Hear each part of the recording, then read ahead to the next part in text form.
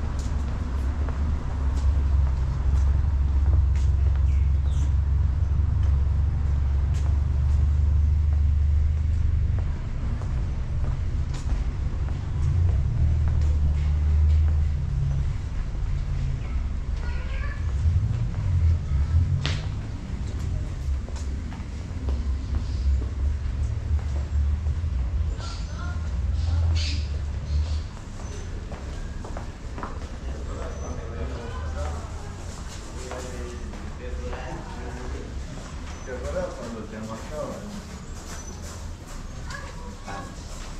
Cuando estaba el, el